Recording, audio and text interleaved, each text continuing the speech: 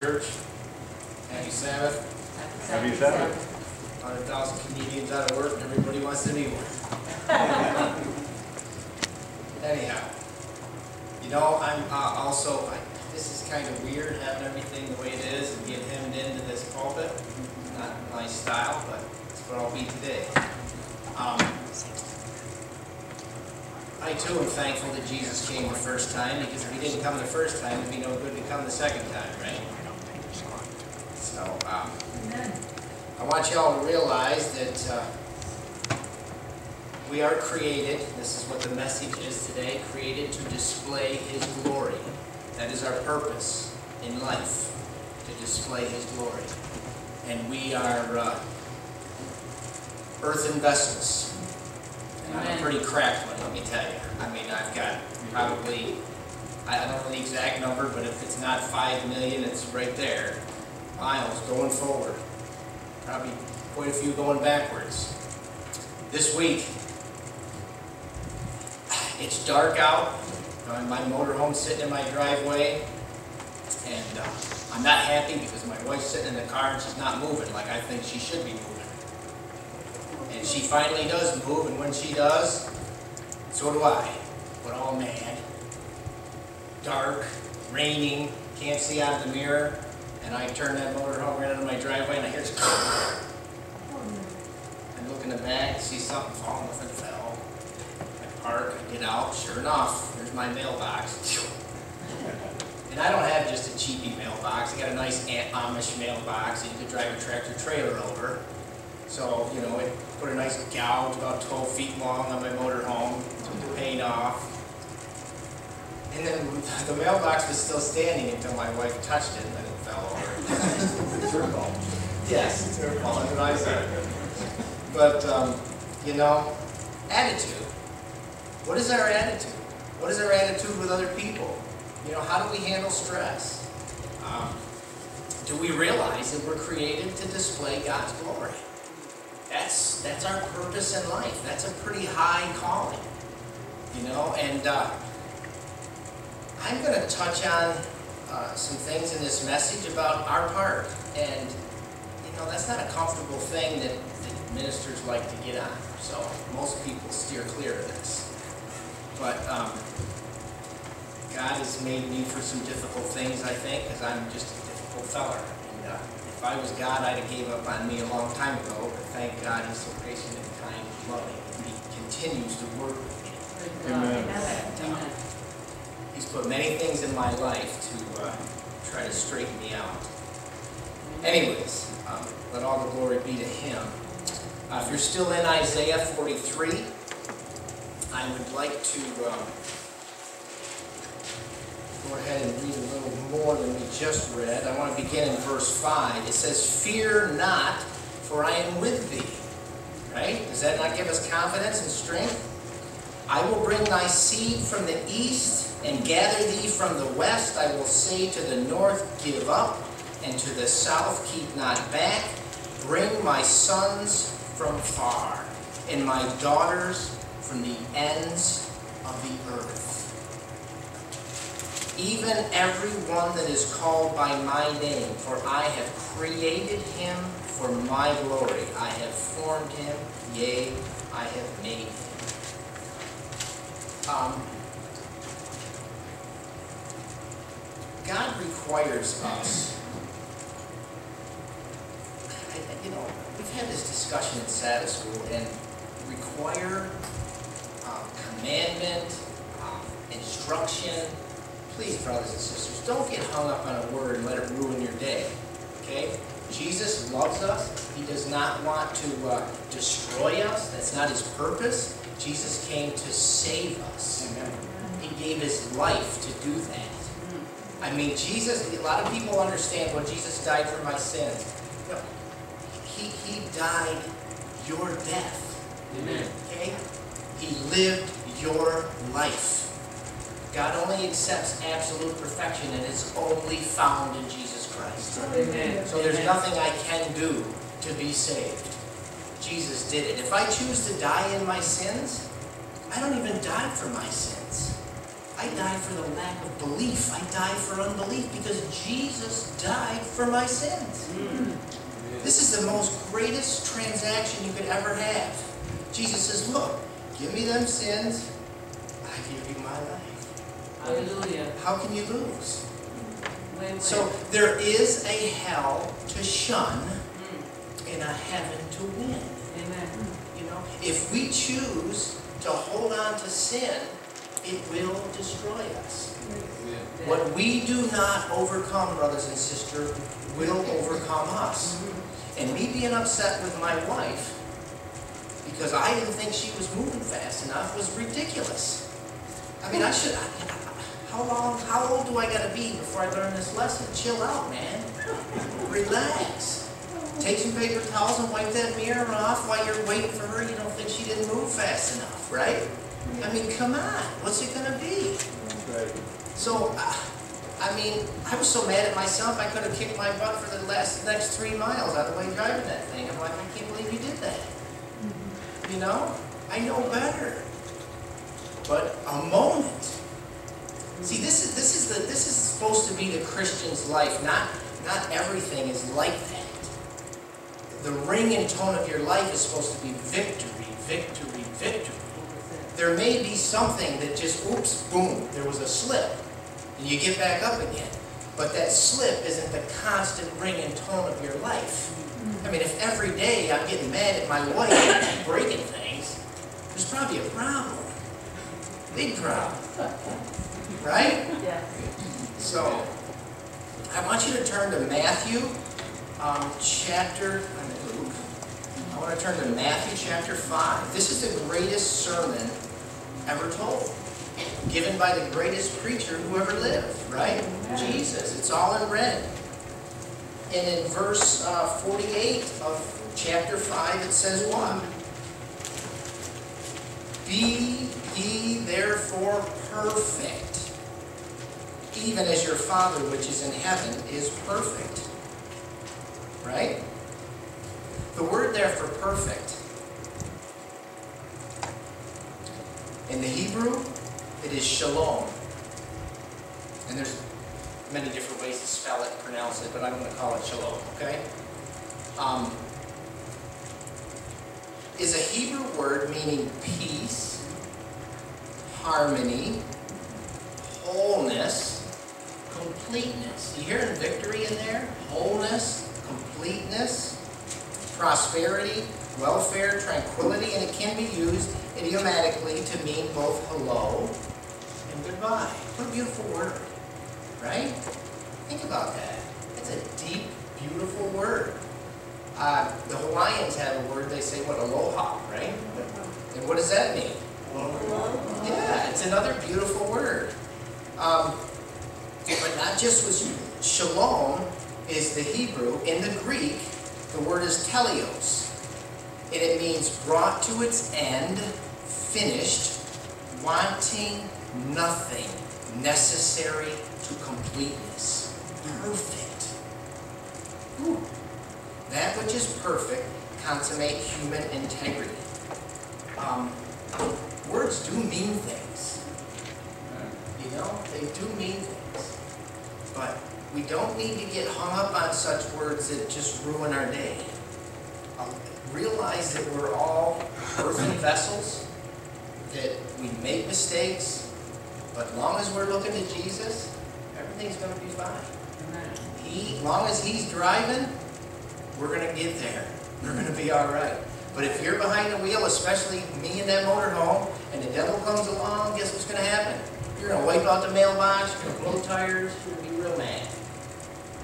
But if Jesus is driving, I can clean the mirror and just watch him. right? Amen. It's beautiful. Okay, um, Noah. What, what does the Bible say about Noah? Who is this fella? Let's go to Genesis 6 and chapter, uh, chapter 6, verse 9. It's really difficult for me to stand in one place. I want you to know that. It's tough. Y'all get there? Amen. verse 6 and 9. But, but what does it say? It says, But Noah, I'm going to read verse 8. But Noah found grace in the eyes of the Lord. These are the generations of Noah. Noah was a what? A just and a Right. my Bible says perfect, upright, okay, perfect in his generations. And Noah walked with God. Perfect. Okay, is God, would God ask us to do something that we couldn't do? No. That he wouldn't enable us or give us the grace to be able to do? He's as he's telling us, be ye therefore perfect. Right here we're hearing that Noah is perfect. What about Abraham? What about that fella? Um, maybe Genesis 17, 1? Let's go to Genesis 17, 1. And it says, And when Abraham was 90 years old, and 9, 99, okay, the Lord appeared to Abram and said unto him, I am the Almighty God. Walk before me and be thou what? Perfect. Perfect. He's asking Abraham to be perfect. Um, how about Job? Job, um, Job 1 1, here it is. It says, There was a man in the land of Uz whose name was Job, and that man was perfect and upright, and one that feared God and eschewed evil. Wow. It, it sounds kind of different when you think of it this way, doesn't it? Mm-hmm. I mean, does it mean that these guys didn't make mistakes at all? Because I, I don't know, when you get to the end of Job, man, God really takes Job to the woodshed. I mean, I really felt sorry for Job when I was reading some of that. Um, I, I want to read Job 9, 20 and 21. Job says, If I justify myself, my own mouth shall condemn me. If I say I am perfect, it shall also prove me perverse. Hearing it? Though I were perfect, yet would I not know my soul, I would despise my life. That's why God's calling this man perfect. Why? I want you to hear this, I want you to see this. That he and us, we should have a right attitude with God. Do you follow me? It's not saying that we're not going to make a mistake. It's not going to say that we don't fall. That's not the ring and tone of your life. You have a right attitude with God. You're in agreement with God. When God says that you're, you're blind, you don't say, I can see. When God says you're deaf, you don't say, I can hear. You follow me? We have the right attitude with God and we listen. This is the thing we need to do. If I would have been listening that night, it was raining, I wouldn't have that mark on my motorhome that I get to see all for the next two weeks. Which will remind me that I got a lot to learn.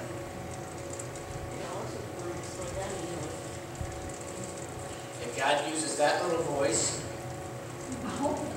to, to straighten me out too. Um, let us turn to Luke.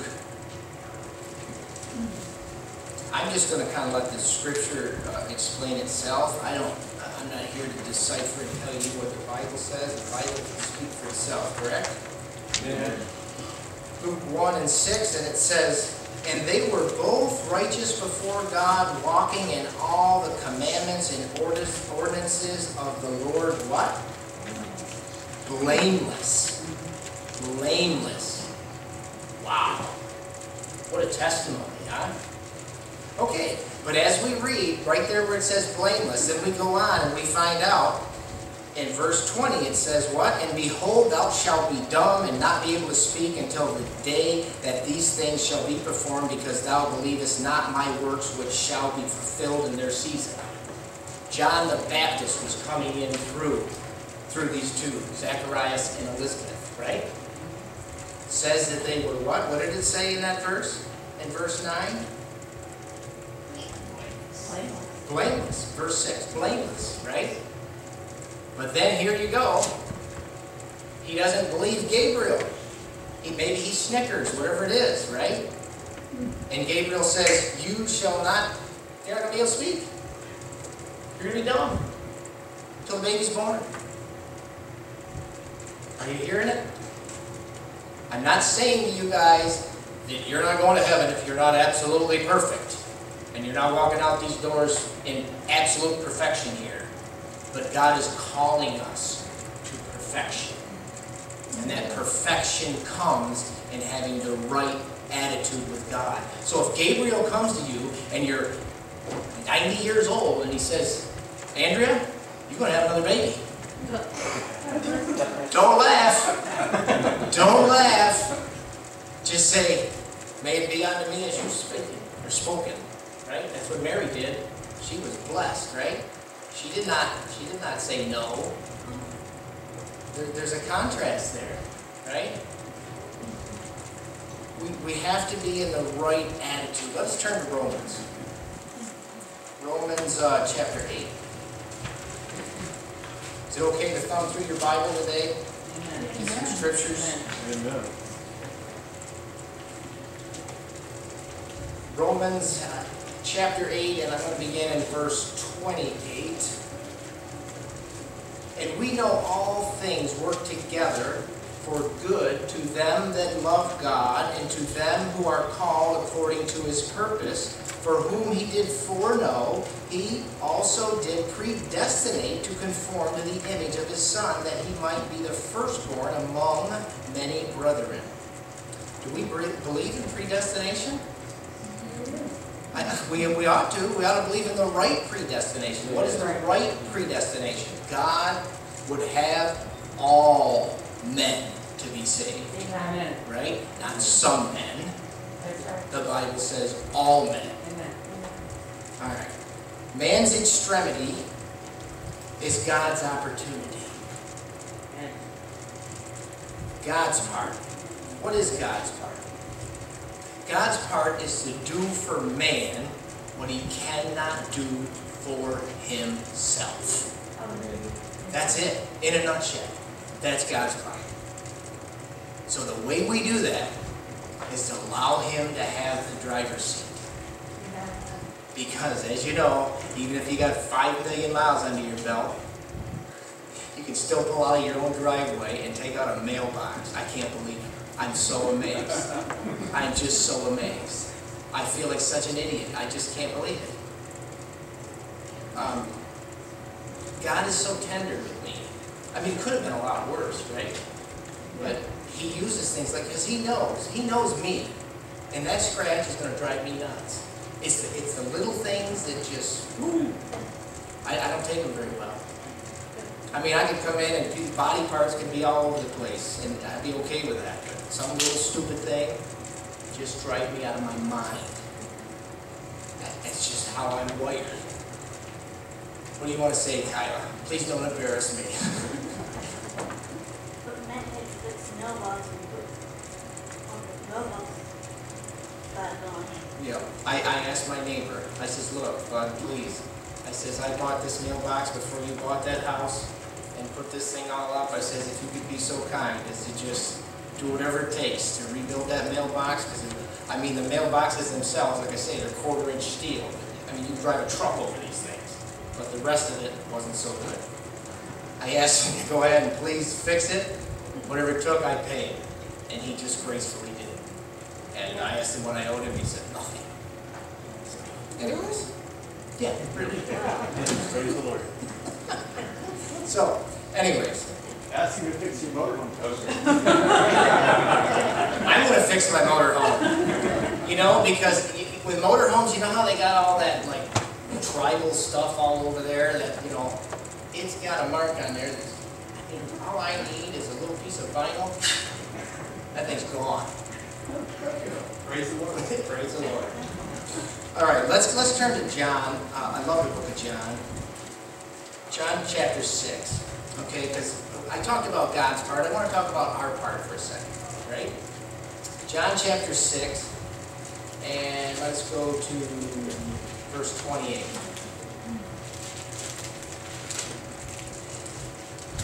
Then said they unto him, they're speaking to Jesus, scribes and Pharisees, what shall we do that we might work the works of God?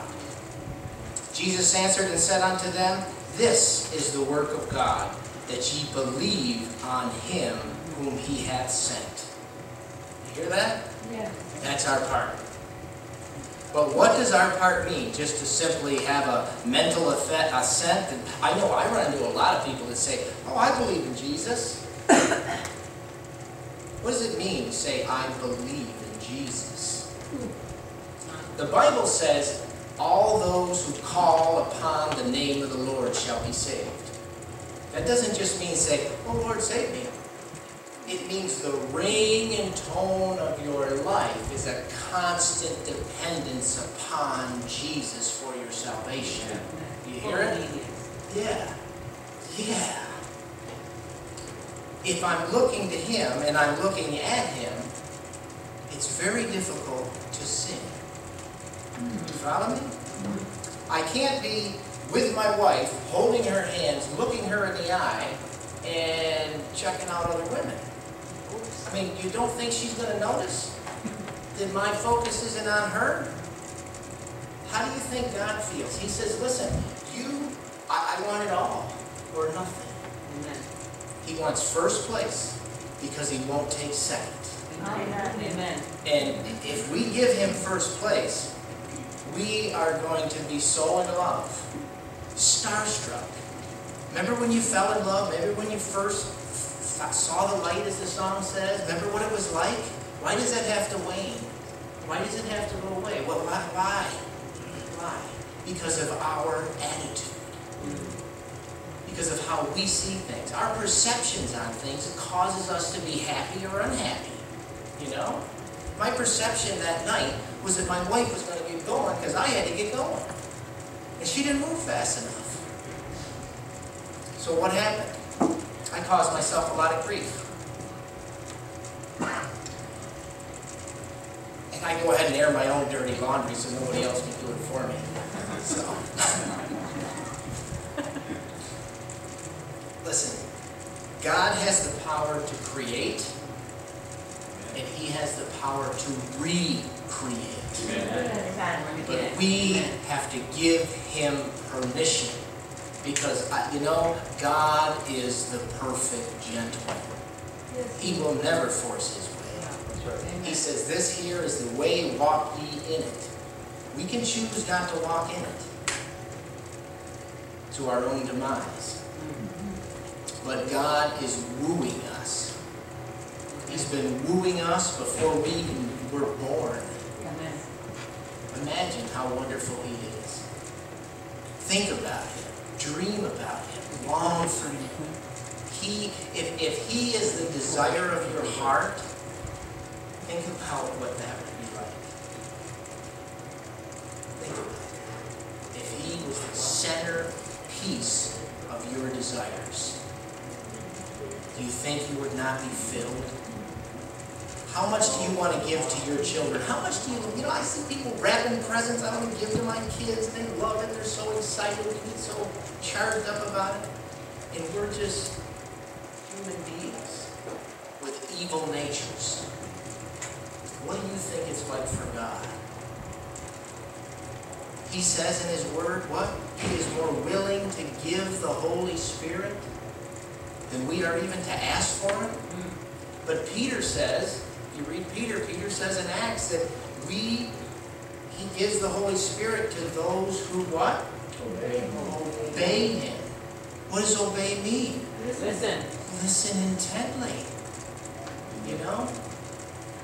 I- i- If, if you really care about the instruction, you're going to get it. Mm-hmm. And then you're going to want to do it because it means so much to you. You know? What we really ought to fear, brothers and sisters, is not God destroying us. What we ought to fear more than anything in this galaxy is the frown of God upon our life. That God would frown upon us.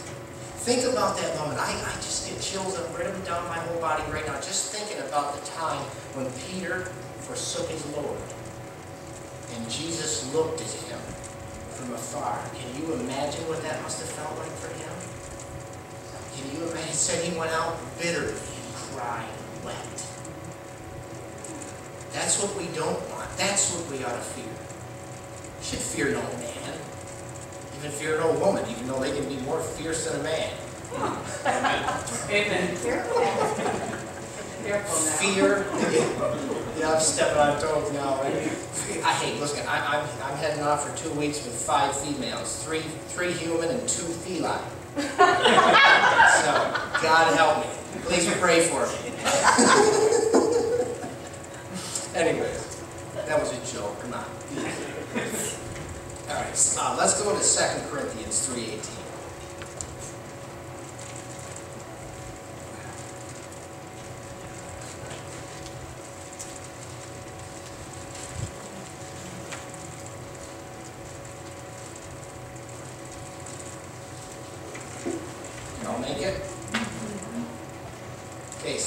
Corinthians three eighteen. But we all with an open face beholding as in a glass the glory of the Lord are changed into the same image from glory to glory as by the Spirit of the Lord. Doesn't the Bible say, as a man thinketh in his heart, so is he? What do we focus on? What draws our attention? You've heard it said, you are what you eat. You are. And that speaks spiritually too. This here is spiritual food. And this is how we feed our spirit. You are what you think. Yeah, absolutely. Absolutely. Let's go to Ephesians.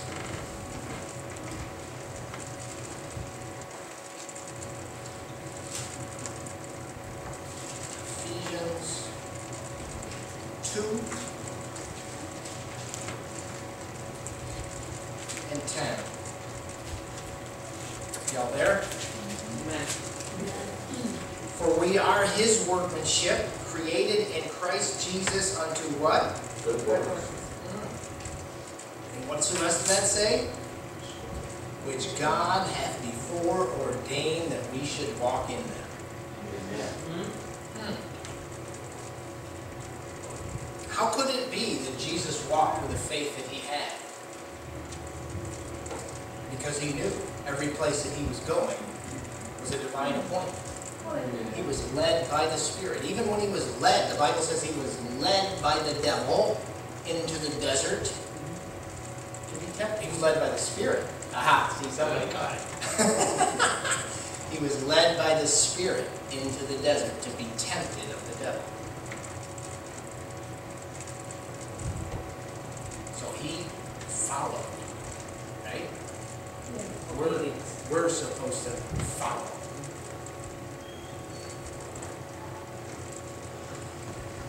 Perfection of character, brother, is the purpose. Is the purpose that we're here for. Iron, the Bible says, sharpens iron. This is why we're here. John 3 3 says, Except a man be born again, he what? He cannot see the kingdom of God.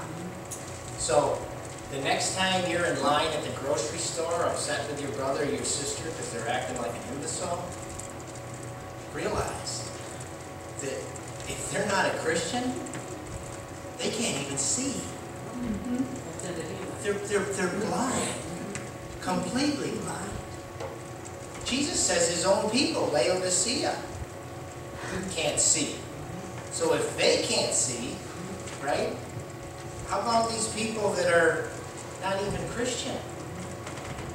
So what um, ought, what of attitude ought we have to somebody like that? Grace. Grace upon grace. Yes. We need to be spiritual minded. I got all kinds of stuff here. Um, I'm going to go a little deeper here. Let's go into Colossians. Colossians chapter 2. It's just a little bit to the right of where you were. Colossians chapter 2, I'm going to begin in verse 8. Y'all there? Beware lest any man spoil you through philosophy and vain deceit, after the tradition of men, after the rudiments of the world, and not after Christ. This is where people get into trouble. They get into the extra biblical stuff. This is where the rabbi, we, we talked about this a little bit in Sabbath school. You know, there was 600